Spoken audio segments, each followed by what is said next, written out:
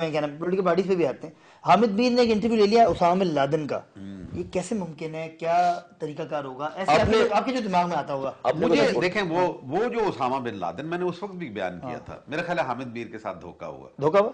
क्योंकि मैंने उस- उसामा बिन लादेन को देखा है।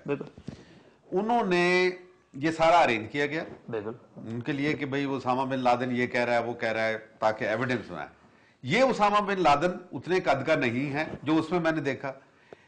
उसका ड्रॉन फेस है उसामा बिन लादेन का एक्चुअल जो है इसके हाई चीक बोन्स हैं। मुझे यही मैं सवाल यही था कि हाँ। क्या वो फेक थे? फेक बिल्कुल फेक थे वो। जो बहुत से लोग ये कहते भी हैं हाँ मेरा ख्याल है कि वो अंधेरे में दिखाया गया। अच्छा।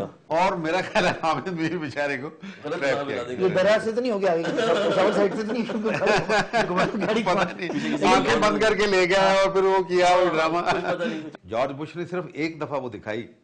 उस वक्त उसको भी अंदाज़ा हो गया कि कि मुझे याद है कि ये गलत है। गालिबन नौ नवंबर को दिखाई गई 2001 को। और उसके बाद कर दी गई। उसका अब वेबसाइट पे भी नहीं मिलेगी हाँ, आपको. मुझे कभी कभी उसने खुद